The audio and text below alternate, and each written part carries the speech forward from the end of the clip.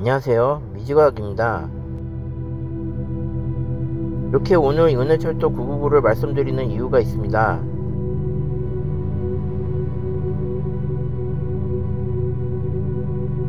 바로 오늘 6월 28일이 한국 철도의 날이기 때문입니다.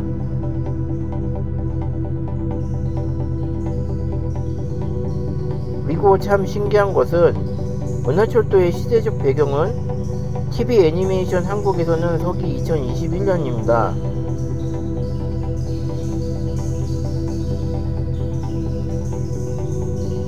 야, 그러면 현재네?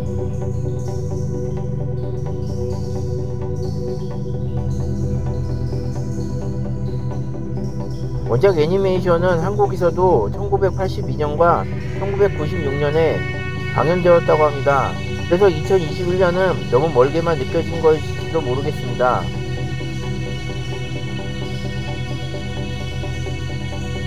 오늘부터 원어철도 999의 과학적 분석을 말씀드리겠습니다. 더불어 후속편에서 마음에 관한 이야기, 외계 문명에 대한 이야기를 하겠습니다.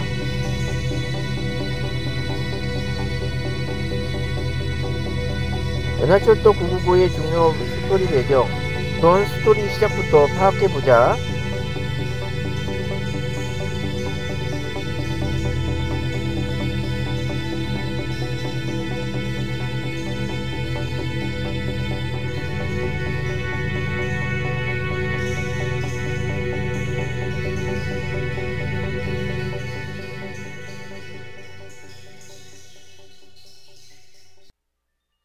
먼 미래에 사람의 육체를 대신해 기계로 살 수 있는 것이 발명되었습니다.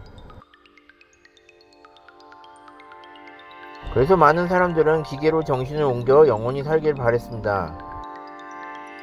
가난한 사람들은 빈민촌에 모여 살았고 부자들은 기계 몸으로 영생을 누렸습니다.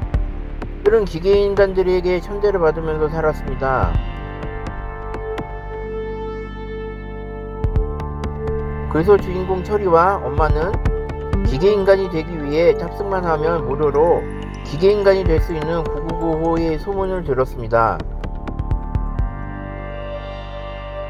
그래서 탑승하려고 노력하던 중 기계의 백작기에 엄마가 살해를 당했습니다.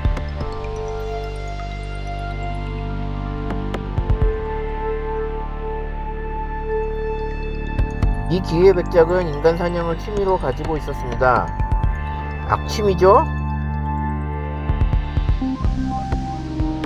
그래도 탑승권을 무리하게 도둑질하다가 죽을 위기가 왔는데 메탈을 만나서 999로 같이 여행을 하였습니다.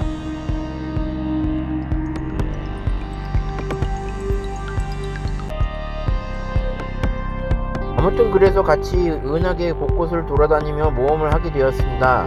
그리고 서로에 대해 각별한 감정이 싹틉니다.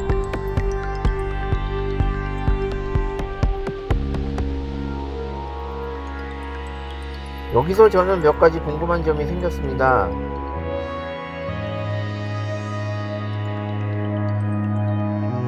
그냥 만화인데 궁금할 게 뭐가 있냐고요?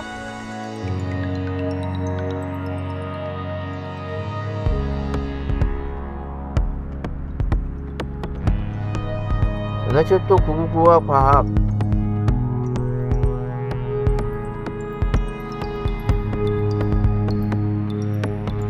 999의 의미는 무엇일까요?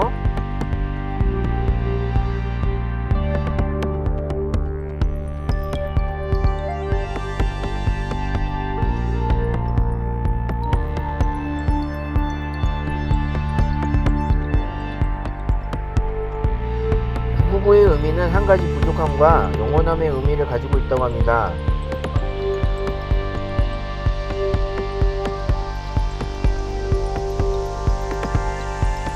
희한하게 은하철도 999는 우주로 지나갔는데 연기가 납니다.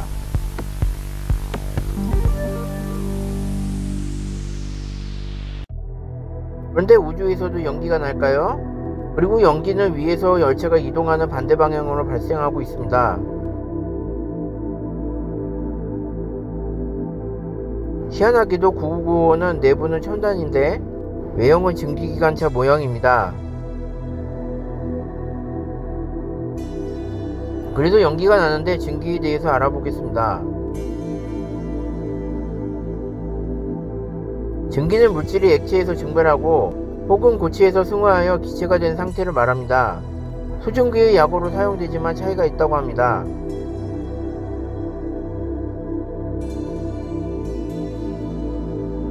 특이한 것은 구구호의 연기는 이동하는 방향에 따라 일정하게 움직이는 것 같습니다.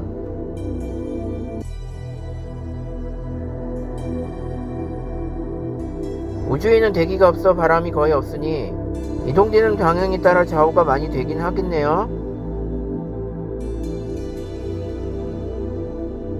증기기관차는 외형기관의 일종인 증기기관을 주 동력원으로 삼는 기관차입니다. 기본적으로 보일러에서 물을 끓여 증기를 발생시키고 이 증기의 압력으로 피스톤을 구동시켜서 바퀴를 움직이는 힘을 얻는다고 합니다.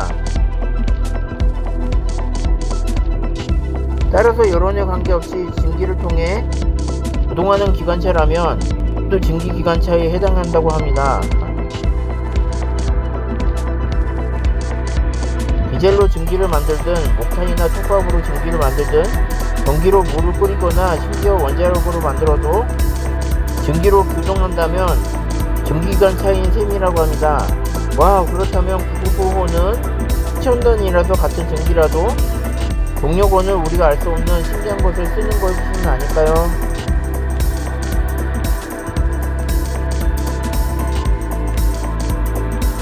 원장관내에서 배터리 이야기에 따르면 995를 비롯한 은하철도 기관차에는 인류 과학기술 수준을 상당히 넘어서는 외기 기술이 투입되었다고 합니다. 먼 은하의 외계 문명으로부터 얻어진 기술과 재료가 들어가 있기에 인간의 손으로 만들어졌어도 인간이 이해 못하는 부분이 많다고 합니다.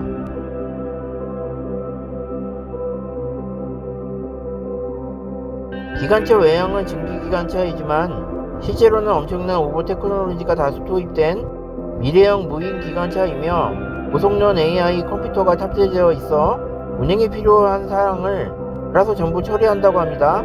시간이 길어진 관계로 2편 진행하도록 하겠습니다. 다음 편에는 최고 우주 여행에서 999처럼 기체를 활용한다는 내용과 기계 인간의 가능성, 이해 인간은 왜 인간성을 잃어가는가, 실제 외계인의 세계를 말씀드리겠습니다. 끝까지 시청해주셔서 감사합니다. 좋아요와 구독을 꼭 눌러주세요.